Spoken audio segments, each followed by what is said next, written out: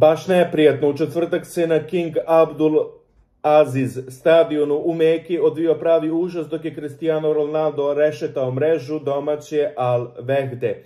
Nije bilo opasno pozdravlji život navijača, no sigurno da je pokvarilo kompletan doživljaj i ugođaj na stadionu. U okviru 16. kola Pro Lige u Saudijskoj Arabiji Al Nasar je kao gost sa 4 prema 0 savladao domaći tim. Prvo ime utakmice bio je Cristiano Ronaldo koji je postigao sva četiri pogotka. Slavni Portugalac načeo domaćinu 21. minuti da bi novi pogodak postigao 5 minuta pred odlazak na odmor.